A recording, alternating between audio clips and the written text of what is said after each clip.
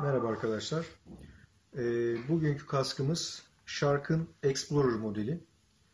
Ee, Shark biliyorsunuz bir Fransız markası ve tasarımda da gerçekten tam bir Fransız. Ee, neden derseniz çok şık ee, ve çok fonksiyonel. Şöyle ki üstteki telek oynatılabiliyor hatta çıkarılabiliyor. Kenarlardaki vidalarından sökebiliyorsunuz. Söktüğünüzde şu camı takabiliyorsunuz. Tabi öncesinde şöyle göstereyim. Buradan Google'unu çıkarıyoruz.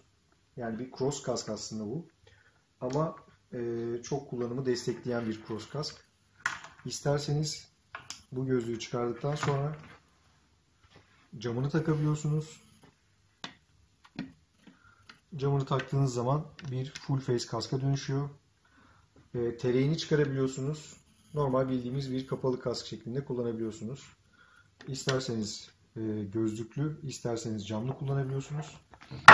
E, şurada gördüğünüz kola basarak güneş vizörünü indirebilirsiniz. İçinde dahili güneş vizörü var.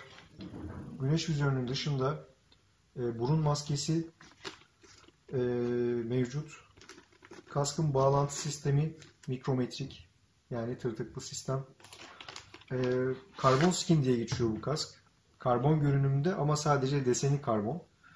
Ee, kompozit fiber olarak geçiyor malzemesi.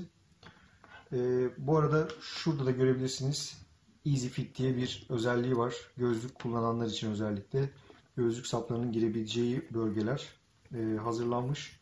Böylece gözlüklerinizi çok rahatlıkla kullanabiliyorsunuz. Ee, artık yeni nesil kasklarda çok sıkça gördüğümüz bir özellik bu.